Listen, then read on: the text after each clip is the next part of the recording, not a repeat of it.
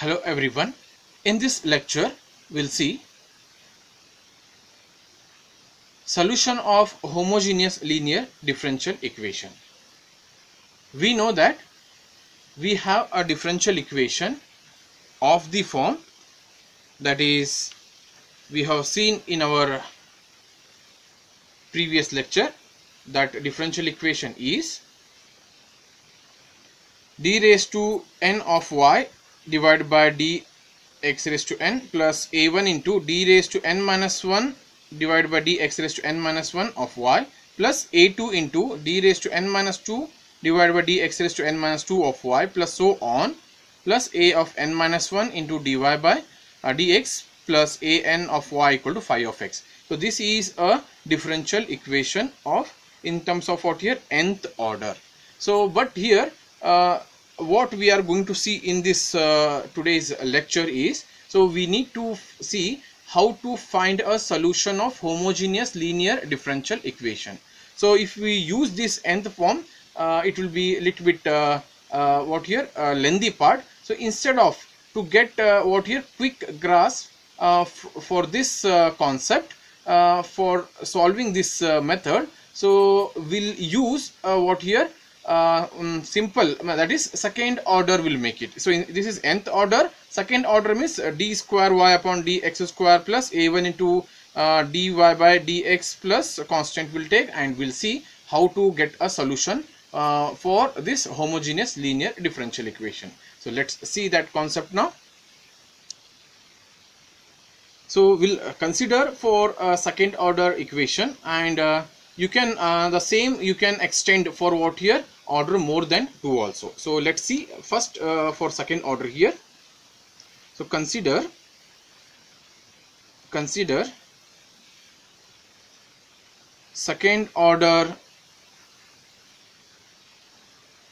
equation. That is d square y upon dx square plus a1 into dy by dx plus a2 into y equal to 0 homogeneous means equal to 0 will come. So if non-homogeneous means equal to phi of x will come. So be careful. So this is a differential equation of order 2 but it is a homogeneous. So i will give equation number 1 so where where this a1 a2 are constant where this a1 a2 are constants. Now so among this this equation number one so we'll put what here? Put d is equal to d by dx. So capital d is equal to we will replace d by dx as capital d and this uh, d square upon dx square that is capital d square is equal to what here? D square upon dx square. So therefore the above expression that is 1 we can rewrite it as what here d square upon dx square will be capital D square. So capital D square into y plus a1 into d by dx is nothing but capital D of y plus a2 into y equal to 0 or we'll rewrite this one as take a y common so it will become d square plus ad plus uh, sorry a1 it is. So a1 d plus this is a1 d plus a2 of y equal to 0 or I can say that this above inside bracket is a function of d of y equal to 0 so for this we'll give equation number 2 so now from equation number 2 we need to check for what here? Solution here. So we know that what is f of d? So where? Where? This f of d nothing but the bracket that is d square plus a1d plus a2 so this is nothing but actually it is in the form of equation. So usually if you taken a second order differential equation so then it will be a second order uh, or quadratic equation. So for this we need to go for what here? Uh, roots for this and we from that root we have to get the uh, values in terms of d and that uh, uh, values in terms of d we have to equate to 0 uh, and we can make it as what here? Auxiliary equation for this. So just see for that what uh, details we can do now. So now so for this we have to make auxiliary equation. Just see so auxiliary equation is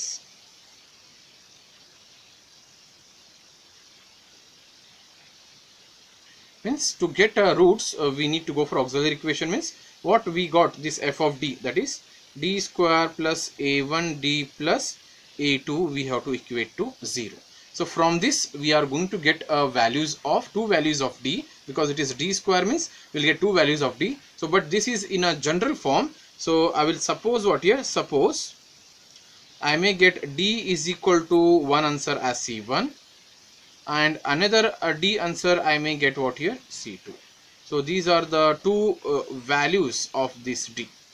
Okay? So in general i'm taking here. So therefore so to write the solution for this uh, we have to use a standard rule as so therefore the general solution of this above equation is the general solution. Or I can say that first we'll see the solution or the general solution.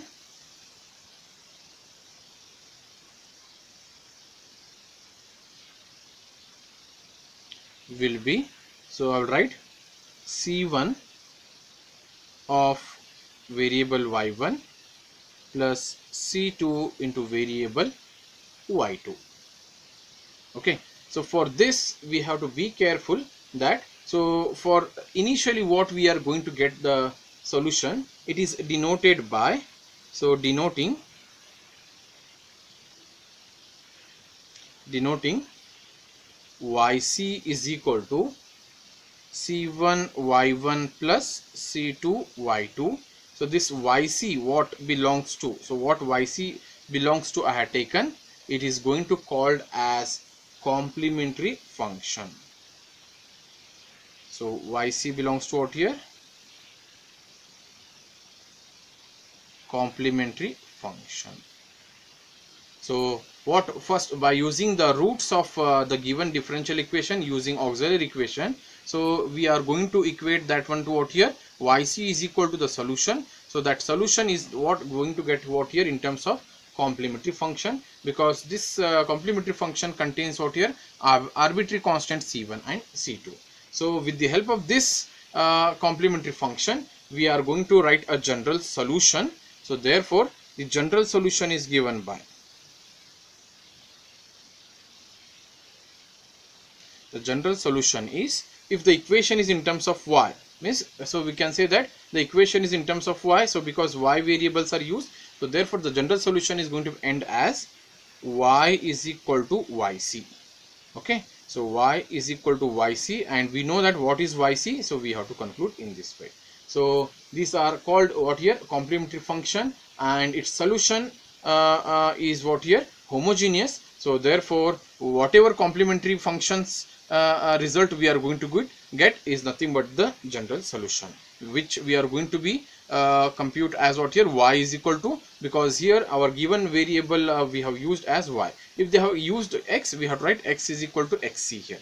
So in this way we have to get a solution of homogeneous linear differential equation.